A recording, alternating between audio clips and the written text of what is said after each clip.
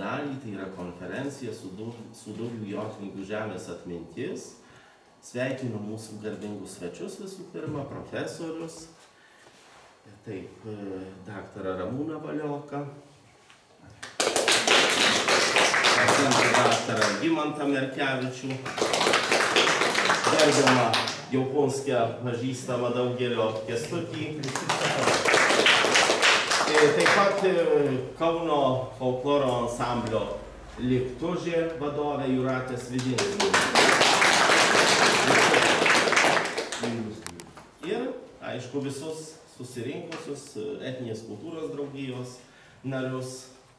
Ir leiskite pradėti programą. Pirmiausia, balsą perduosiu gerbiamui Kestučiui. Ačiū. Aš iš karto noriu atsiprašyti, kad tą, ką aš čia kalbėsiu, rodysiu, tai yra tokia apžvalginė medžiaga, ji yra junginys eilės šaltinių, eilės autorių ir taip toliau, bet kadangi čia daugiau yra plačiai visuomeniai pritaikyta, tai gal nuorodų prie kiekvieno šaltinio nenurodinėsiu, tai prašau e, atleist man tada e, tokį laisvumą.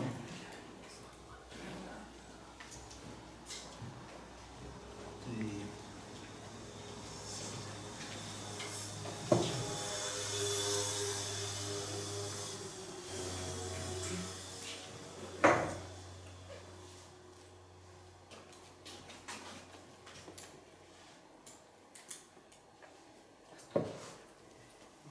Jeigu šlubuos technika, tai irgi reikia atsiprašyti, bet aš manau, kad bet čia viskas bus sėkminga. Į pati mūsų tokio, vadinsiu, pokalbio tema Suduvė ir Suduva istorijos kontekste turi didelę, manau, reikšmę, todėl kad mes randamės centre Suduvių kultūros beveik, galima sakyti, ne taip jau kadangi Suduvių aukštuma, ačiū geografams, kad jie vis tik tai į žemėlapį įrašė šitą aukštumą Suduvių vardu ir išsaugojo visam pasauliui tą Suduvių vardą.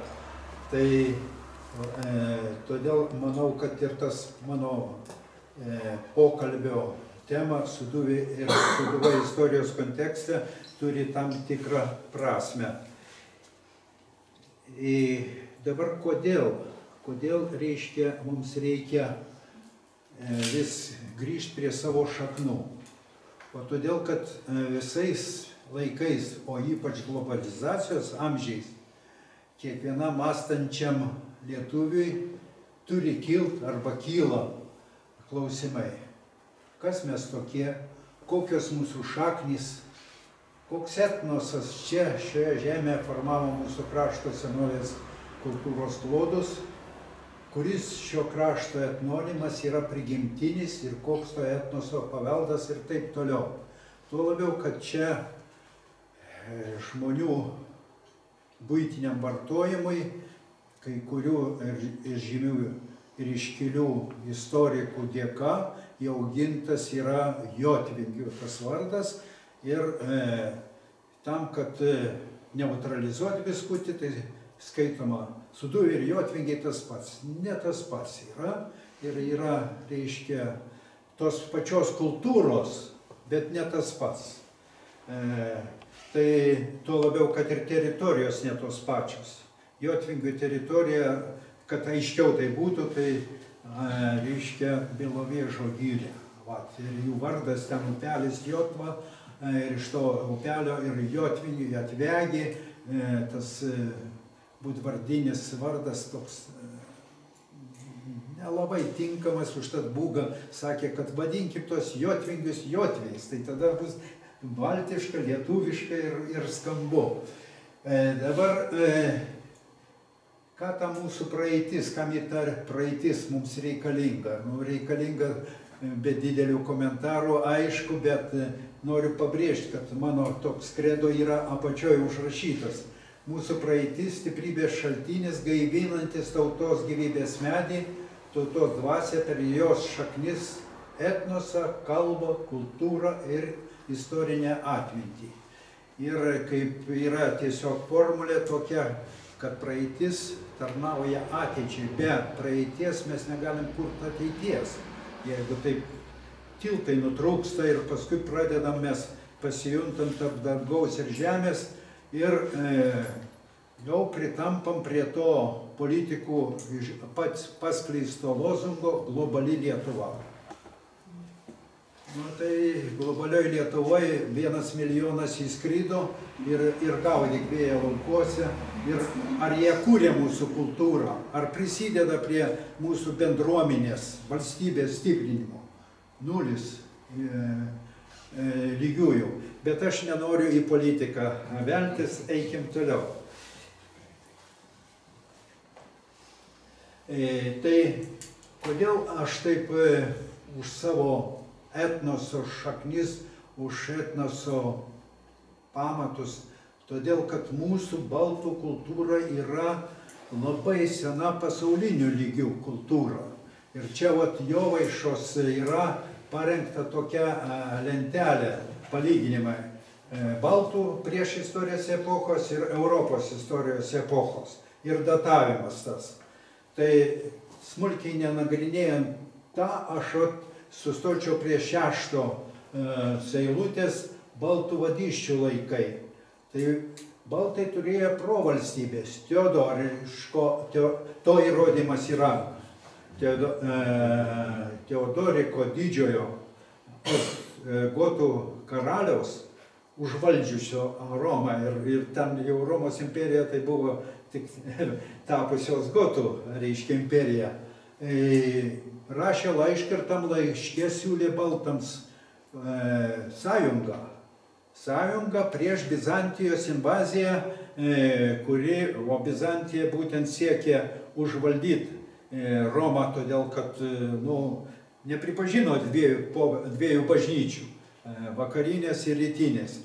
Ir galų gale Bizantija užvaldė, po Teodoriko mirties užvaldė, reiškia, Raveną tą Teodoriko sostinę. Ir dar kitas istorinis šaltinis Ulfstano pranešimas, kur aprašo mūsų vietovės ir taip toliau. O karalius Netimeiras, kurį krikštijo reiškia, misija atžygiavusi 990 ten su kažkiek tai tų metų. Tai vat, turiu pagrindo prie tų baltų vadyščių laikų būtent ir, ir tokią informaciją skleisti. Bet eikim toliau, todėl kad čia mes sutarėm, kad epizodiškai taip apžvelgsim. Čia yra Tomo Baranausko toks žemėlapis, schema parengta apie etnokultūrinę situaciją antram tūkstantmetyje prieš Kristų. Dabar, kada aš sakau antram tūkstantmetyje prieš Kristų, tai palyginimai visuomet palyginimuose tiesos pažįstamos. Tai e, Lenkai šitose žemėse atsirado, pradėjo invaziją apie 7 amžių. 7, 7 šešto pabaiga, septinto ten amžius ir taip toliau ir galų galiai įsitvirtino. O mes kalbame apie 2000 prieš Kristų.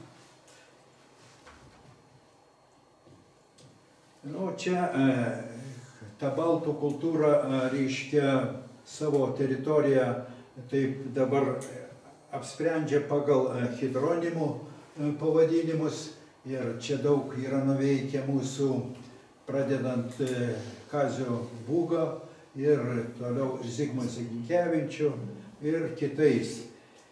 Tai, e, kaip matot, siekia mūsų kultūra, kur dabartinė Maskva, Možaiskas, Okos upė ir taip toliau.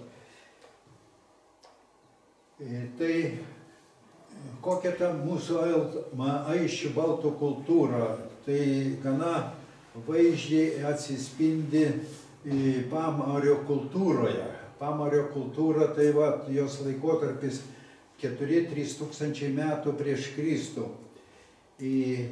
Nu ir e, toliau pamario kultūra yra baltų genčių užuomasgos kultūra, joje formavosi ir vėliau įsiskyrė galindų ir suduvių kultūros.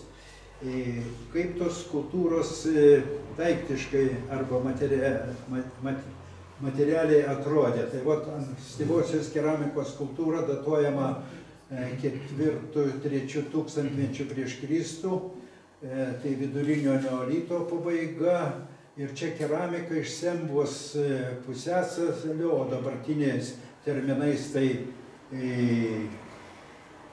karaliaučiaus e, sritis, pribrėžnoje tokia, anksčiau vadinosi Alnikiai, o dar vokiečiai pavadino dar kitaip.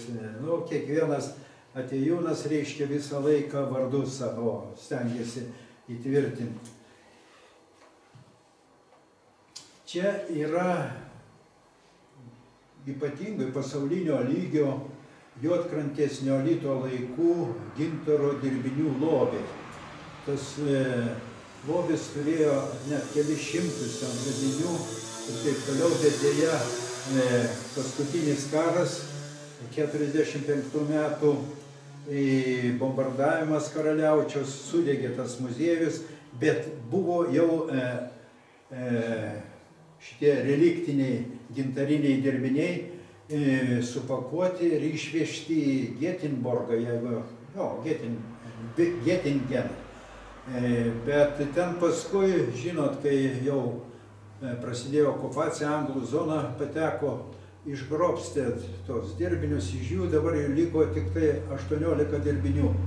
Tai šitie vat, e, dirbiniai yra antramorfiniai, žmogaus vaizdas juose. Tai žiūrėkit prieš tūkstančius metų to, reiškia, žmoginės fantaziją turėjo ir, ir gebėjo tam gintarė nu, išdirbtą žmogaus pavydalą, kaip sakant, nu, ir e, pritaikė atitinkamai kaip pošmena, kažkokie amuletai ir taip toliau. Iš to e, čia keletą bet e, yra dabar įrengtas Nydoje e, muziejus. E, ir čia Jotkrantės lobio analogus tokius padirbė Misgirių gintaro muziejus Nydoje.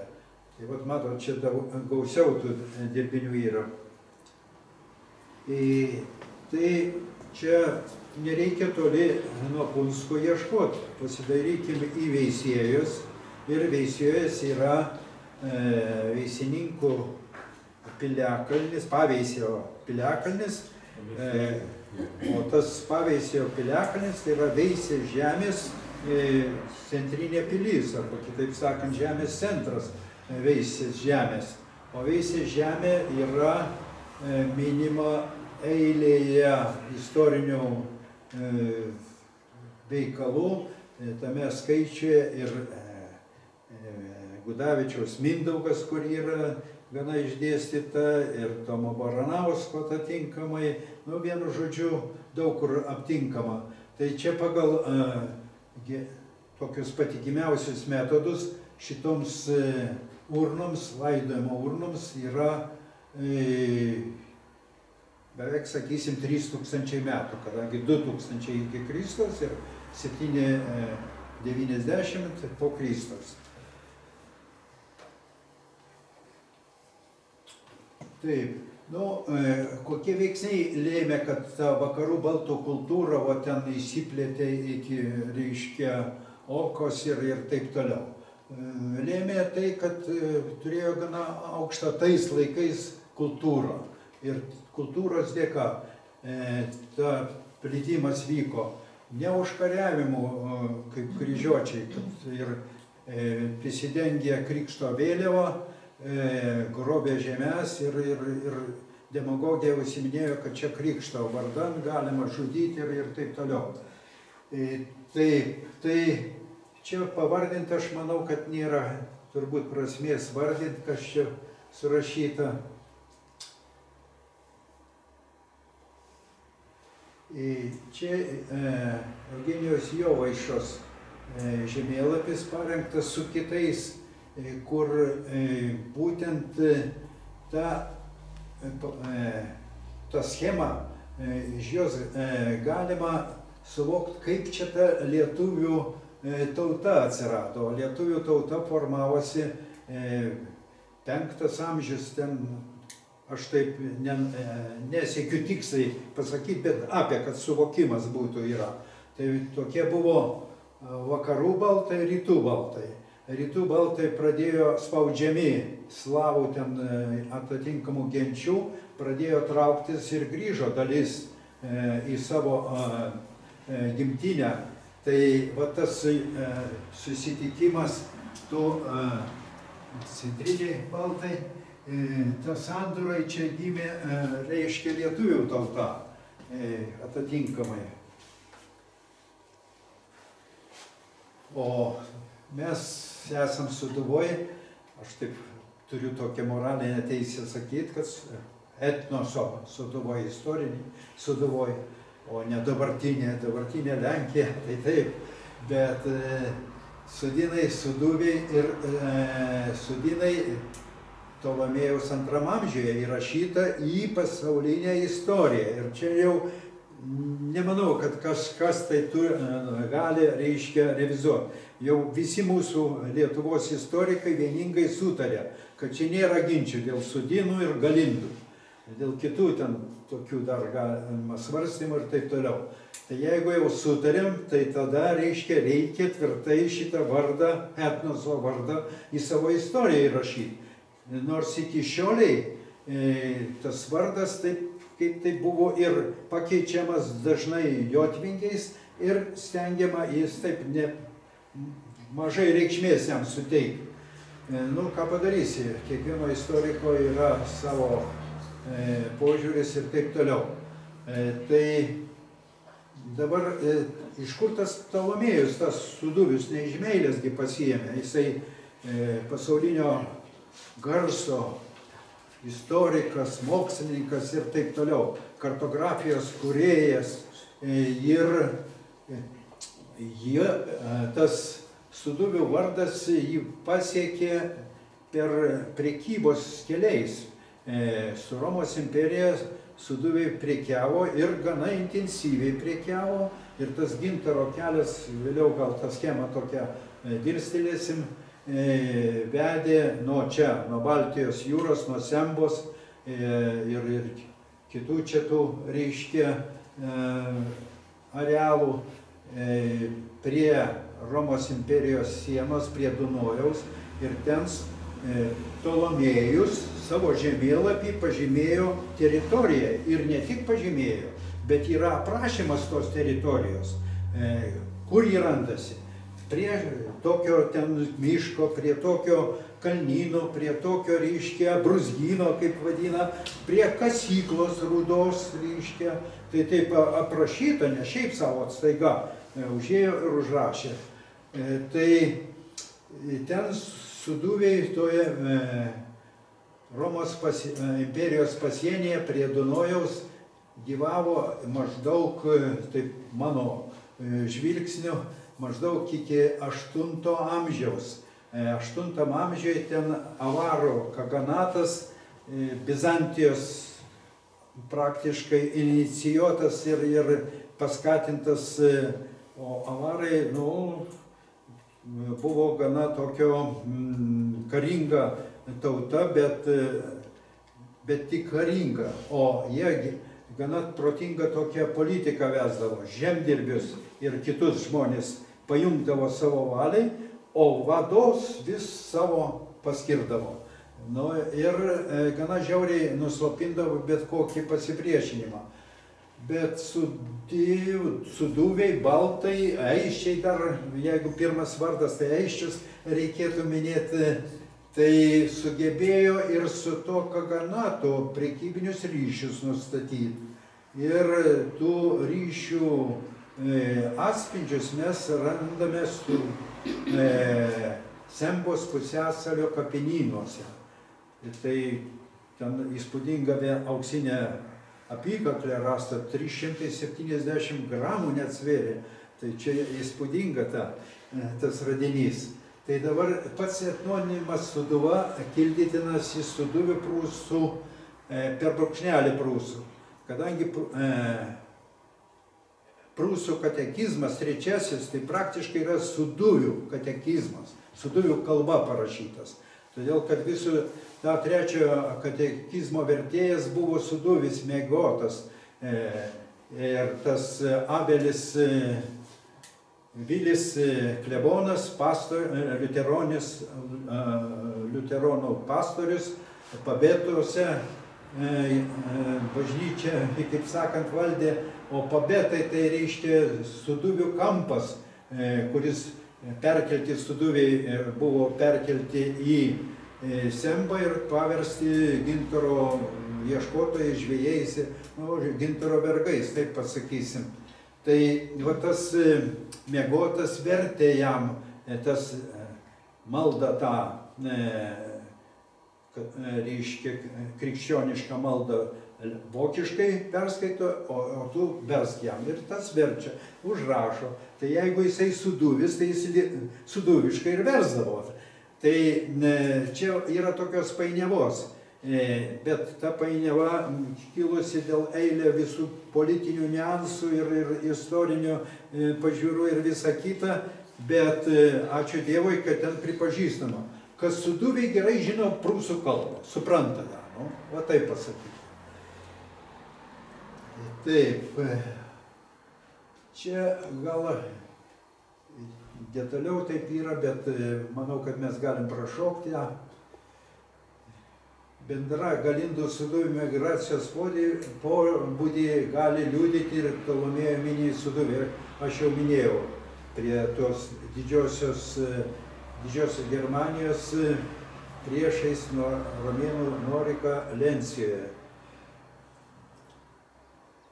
Čia yra tokia iš e, Bliujienės e, senovės gintaras, atrodo, taip jos veikalas vadinasi. Tai e, yra tokia schema parengta ir išdėsita, kaip prie to gintaro kelio, kas ten vyko. Tai vyko, reiškia, ir geležies rūdos kasyklos buvo ir e, e, mėlynai pažymėta yra druskos gavybos reiškia vietos, todėl kad nu, žmonės gyveno ne, ne, ne, ne akmens būstuose, bet reiškia statė ir stulpinius, ir, ir kitokius namus, ir tiltus, ir vežimus turėjo, ir varė tos gyvulius čia reiškia vat, prie to Dunojaus, reiškia, tai čia va tie suduviai šitoje vietoje turėjo tą, nu, koloniją, galima vadinti, ar kaip, vienu žodžiu, e, gana didelę teritoriją čia valdė, tai e, savo pėdsakus jie ten yra palikę e, varduose. Bet e, apie suduvių tokią vidinę kultūrą ir taip toliau, dvasinę kultūrą, tai aš manau, e, va šitas e, e, piešinys ant tų paliktas šešto amžio, ant šešto amžiaus urnus. Čia iš suduvių kultūros grabovės senkapio. 10 km į pietvarius nuo Galdapės. Tiesa, ten jokių rodiklių nėra, aš ten klaidžiau, klaidžiau, nu ką padarysim. Ne Lietuvoje randasi, tai užtat taip ir yra. Tai e, vienas iš tokių piešinių, ką jis vaizduoja. O tas apskritas e, ratas, tai yra gintaras. Gintaro dirbinys vaizduojantis Saulę. Ir veža tą, e, tam savo artimajam dovanų ant tos urnos užpaišo, įteikia jam šitą karietą su saulė, kad jam būtų ten gera, malonu gyventi ir e, visigi e, mūsų prieškristinės religijos žmonės tikėjo savo nemirtingumu, todėl kad jie buvo gamtos religijos vaikai. E, o ką gamta, tai jiegi matė atsinaujina. Žiemą pailsi, o vasarą vėl sužaliuoja, atgimsta. Ir jie taip skaitė ir žmonės taip elgėsi, numirė. Kažkur atgimsta tam e, dangaus pasaulyje. Saulės kultas labai buvo išvystytas, o Saulė ve- veža jie. E, Ten e, tam tikrų e, tų religinių interpretacijų galima daug atrasti, todėl kad e, yra Sovijaus tas e,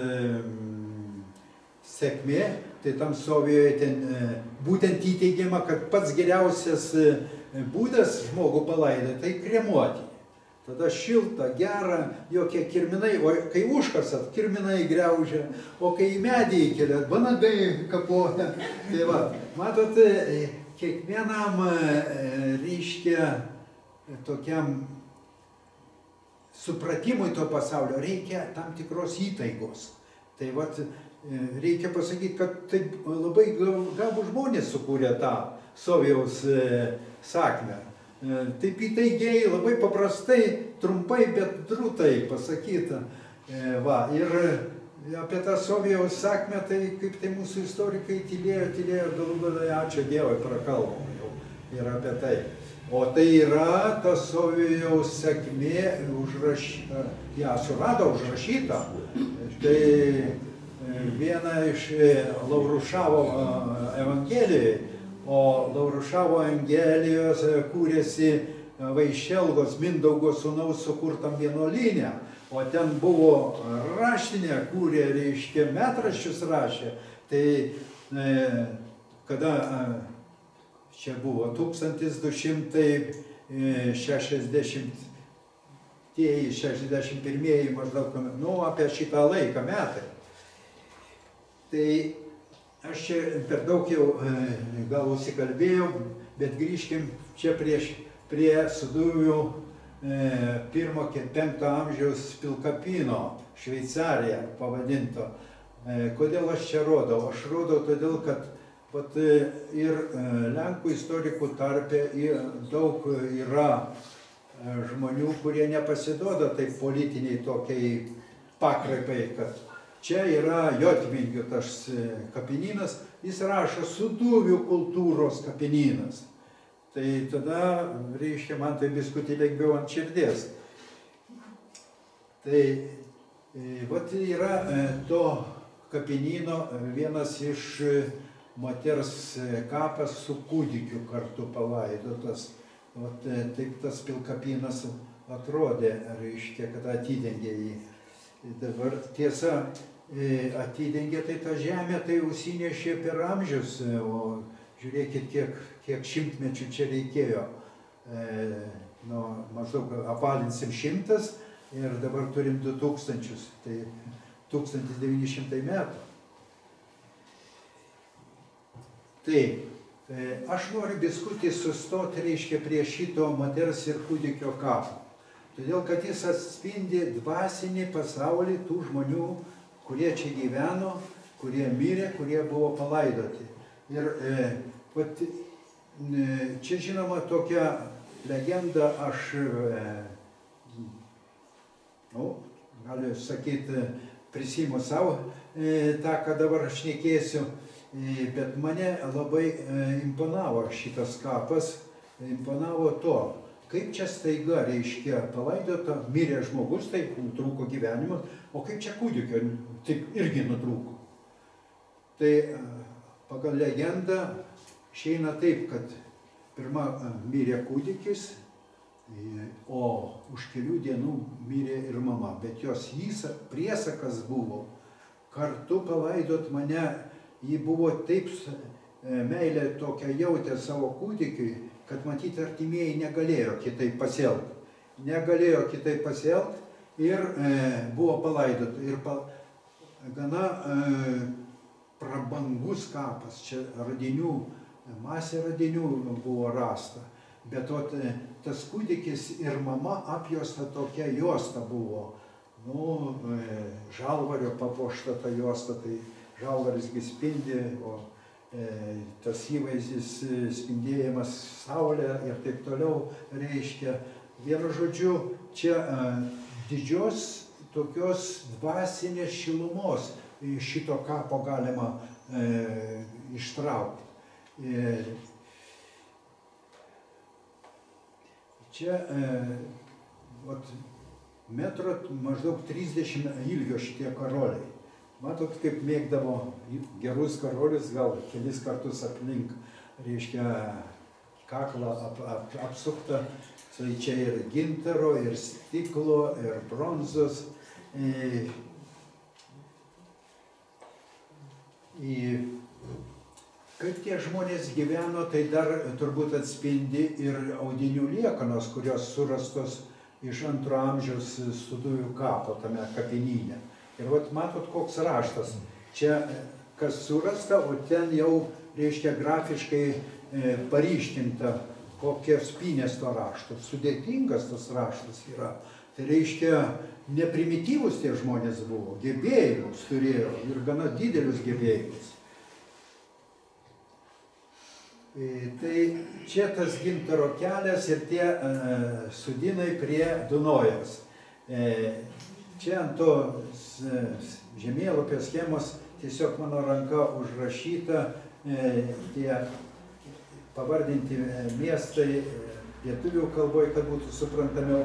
Bet čia e, noriu pabrėžti, kad čia pat yra ir e, su, sudėtų kalnai. Sudėtų kalnai. Ir kadangi mūsų broliai suduviai čia e, gyveno, dirbo triūsė, keletą amžių, ne šiaip savo dešimtmečius, e, antram amžiui užfiksavo, bet mes turim e, duomenų, kad pirmam amžiui jie čia jau galėjo būti, ne, nebūtinai e, antram amžiui. Jeigu antram amžiui ten atsirado, tai gal jie nespėjo įaukti ir taip toliau. Ir kitas dalykas, priekiauti su Roma, tai reiškia reikia kalbą žinoti, kaip, pirštais nesusirodys Tai reiškia išmoko ir kalbų e, ir, ir taip toliau. Ir, kur aš minėjau, e, bet biskutį vėliau paskui pakalbėsim, kai, kodėl vertėjo reikėjo suduvėms. Tai va tas sudėtų e, kalnai, šaknis sūt ir sudu, sūt, man teigia tokią nu, galimybę pavadinti, kad sudėta yra kilę iš sudų. Va tas vardas. O čia tas pats gintaro kelias, o va čia Klaudijas Ptolomėjas, mūsų krikštatėvis, kuris įrašė mus į pasaulio istoriją antram amžiui. E, čia yra e, didžiosios Germanijos jisai žemėlapį, e, yra didžiosios Germanijos ir paskui reiškia aiščių dar žemėlapį su gentim išvardinti. Tai va ant didžiosios Germanijos žemėlapio įvardinti reiškia gintaro kelio miestai tokia riebi e, šitą liniją. Taip. O va čia suduviai. Tai m, mm, būtent e, iš Ptolomėjaus, o dabar šitą e, Ptolomėjaus žemėlapį Jovaiša su visa savo pagalbininkų grupe užtempė ant šio laikinio žemėlapio koordinačių. E, tai čia didžiulis darbas ir tada tas leidžia tiksliau reiškia spręsti, kur kas randasi. E, čia žinoma Romos imperija ir antro amžiaus suduviai, tai tam, kad aiškiau būtų, ten, tam žemėlapį schematiška e, yra, o čia jau taip gana šio laikinio žemėlapio e, pats pagrindas ir būtent tie aiščiai, galindai, suduviai, būtent čia. Ir dabar e, dėl suduvių ir galindų.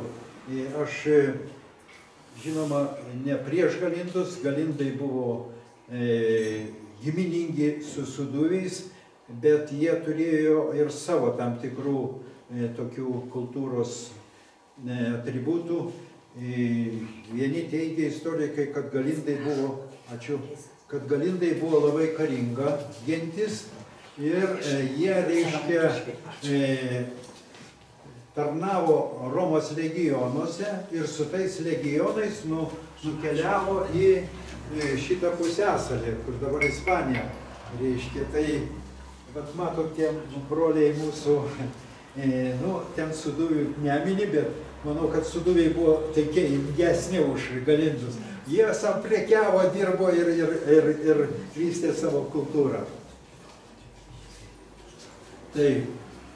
E, Tai taip apibendrinant, tai galima pasakyti, galim tik ir džiaugtis, didžiuotis lietuvių tautos kilmės giliais šešių, penkių tūkstančių metų kultūros raidos klodais, į kurių, į tuos klodus įrašė didžiulį savo sluoksnį suduviai. Ir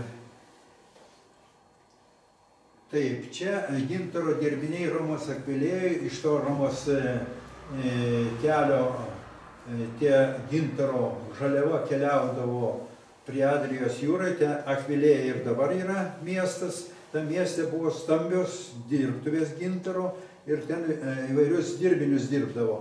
Ir gintaras Romos imperijoje turėjo didelę paklausą, net e, e, sveikindavo naujų metų progą tokius lapelius, reiškia, o čia tas lapelis toks, su užrašais raidės ten taip išsišifruoja, kad linkime laimingų, gerų, sėkmingų metų. Tai, tai dabar biskutį prie dėl e, Teodoriko e, sukurtos e, Osgotų imperijos. E, Čia matot pirmo pažymėta baltai, antro ta imperija ir tarpė ta tiek tas kana- ganatas ir taip toliau, jau čia pradėjo šeimininkauti. Tai dabar Teodorikas yra parašęs aiščiame laišką 526 metais, taip su plius minus. E, Tai tam laiške jisai kviečia suduvius prisidėti prie, ai, nu, aš tai pabrėžiu suduvės, kadangi vis tik tai e, buvo ir smulkesnių bendruomenių tokių, bet apibendrai įmant, tai suduviai e, kviečia į talką prieš e, rengiamą Bizantijos antpolį prieš šitą imperiją. Tai e, yra Teodoriko toks išlikęs, reiškia, skulptūra Ra- Ravenoje. E, Jis mirė 523 metais, e, o tiesa tą laišką tai rašė ne pats Teodorikas didysis, o jo e, sekretorius e, ir taip toliau žymus paskui e, istorikos e, e, rankraščių saugotojas ir taip toliau Kasiedoras. Taip, tai va čia e, yra išlikęs e, ir tarp kitko netaip seniai iš tos pelkės atkasi ir, ir parodė, reiškia, visam pasauliui Teodoriko didžiojo mauzoliejų Ravenoje. E, Jisai, reiškia, buvo pradėtas statyti apie 520 metais kaip e, paminklas, e, o kada mirė 26 metais e, Teodorikas, tai tapo mauzoliejumi ir jis buvo čia palaidotas. Taip, nu, čia tą laišką mes kalbėjom. Dabar e, apie Dunojaus tą vardą, tai to Dunojaus vardo kilmė indoeuropietiška ir e, įvairių tokių e, vokiečiai e, sako Donau, slavai Dunai, Duna ir taip toliau, bet šaknis tai išlieka. Nors e, e, graikai Istra, e, Hister, Hister, taip, latiniškai graikai, a, Istros, jo, senovės graikai jį vadino Istrus. Čia apie tą kaganatą varo, taip. Nu, o ta apykaklė, kurią atrado pilkapiuose, e, ten e, šiaurinėje pusėje Sembo, netoli Alnikų rago. Tai yra iš- išgraviruota e, tokie įvairūs vaizdai ir mm, Grunau iš tų vaizdų kūrė tokią versiją, kad čia vat, vat šitą fragmentas paimtas iš tos graviūros e, esančios ant apyrankės, e, kad čia varo karys, o ten yra su dujų galindu Vaidevutis. Vaidevutis tai jų kunigaikštis. Nu, kokia tolesnė lemtis. Ji labai garbinga, klojo istorijos pamatus, išlaikėm šešis tūkstančius metų ir gyvi esam, tai manau, kad daug nuveikė yra. Nu, kalba mums padėjo ir taip toliau. E, dėl Dusės ežero biskutį vardo gal sustokim, todėl kad dėl Dusės ežero mes neturim tokio ir kalbininkų nėra pateikta aiškios tokios vizijos, bet aš tai norėčiau Dusės ežero susijęs su e, Suduvių baltų aiščių e, prieš kristinės religijos panteonų. Todėl, kad ten šalia Dusios ežero dar yra keturi, reiškia, verstaminų e, keturių piliakalnių kompleksas su Alkos kalnu. Prie Lamčiškės piliakalnis ant Dusės vakarinio kranto stovi. E, tiesa, jis nėra didelis, bet reikšmingas yra. Tai pats Dusios ver, e, vardas e, reiškia sielą ir ta yra nesugalvota, bet čia yra pateikta, kodėl skildinimas iš čia, todėl kad mažulis savo prūsų kalbos žodinę šitą dusi būtent reiškina sielą. Taip, o dar sustiprina šitą versiją, kad yra mūsų dvasios panteonas, ten Šventupė varda, upelis, tekantis iš Šventežerių, Šventupė, pats ežeras Šventežeris, tai kodėl tiek daug šventų vietų? Tai ne šiaip savo sugalvojo, šventas upelis ir taip toliau. Matyt, iš amžių gilumos šitie atėję, todėl kad Dusios ežeras labai vardas labai senas ir ten gyvenviečių archeologai yra suradę, e, nežinau, desėtką turbūt e, kokį ir patvirtina, kad ten žmonės tikrai nuo amžių, amžinųjų gyveno, todėl, kodėl? Todėl, kad Tusios ežeras yra e, labai dosnus, augino žuvį, maistą augino ir taip toliau. Kita vertus, Dusijos ežeras net per didžiosius šalčius ne visuomet užšala. Jis yra giliausias gylis 38 metrai. Tai reiškia garoja, garai kyla ir taip toliau, kelia visokias vizijas. O būdavo, kad ir nuskesdavo žmonės, tai va ta sielos paimdavo tą sielą ir taip toliau. Nu, daug čia e, visokių tokių, kas liečia susi, e, susijęjusi su mūsų senovės religija galima atrasti. Suduviai Semboje turbūt mes praleisim, kitam kartui palikim, Polianderis rašo, ką jis rašo. E, Suduviai turi savo kalbą, kurią naudojasi ir beveik visi prūsai. Vat, e, Polianderis nu, gana reikšminga asmenybė istorijoje ir, ir, ir visumoje gyvenime. Visas gyvenimui būtinas priemonės gaminasi jie patys Jie atkakliai saugo savo protėvių kultūrą ir papročius, rūpinasi savo gentainiais ir neleidžia, kad nors iš jų elgetautų. Tai dvasia atspindi žmonių. Taip. Nu, čia tie vaizdai, mes juos praleiskim, bet sustokim prie šitos e, skaidrės. E, šiais metais mes jau pažymėjom ir visus metus galim žymėti Marijos Gimbutienės Alseikaitės gimimo šimtmetį. Ir Alseikaitė e, yra pagal tėvų kilmę žemaitė, todėl kad jos tėvai Alseikai e, Urvių kaime Skuodo rajone gimė, paskui tapo gydytojas ir taip toliau.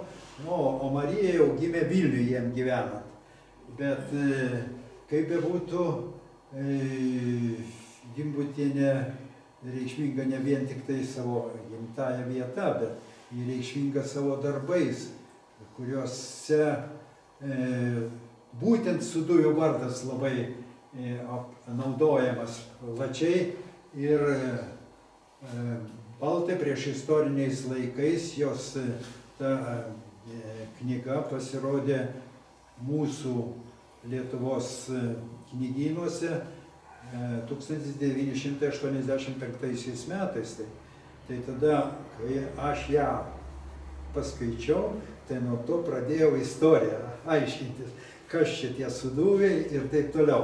Nors žinoma, biski buvo anksčiau, kai aš į Marijampolę atvažiavau tuometinį kapsuką 1976 metų giliam rudenį, tai mane biskutį iš karto užsifiksavo Suduva, stadiono pavadinimas, Suduva. Tai pradėjau aiškintis, kas čia per Suduva. Tai matote, vat, ką reiškia vardai. Vardus reikia saugoti, juos globoti ir taip toliau, todėl kad tai yra mūsų šaknys. Tai aš noriu visiems iš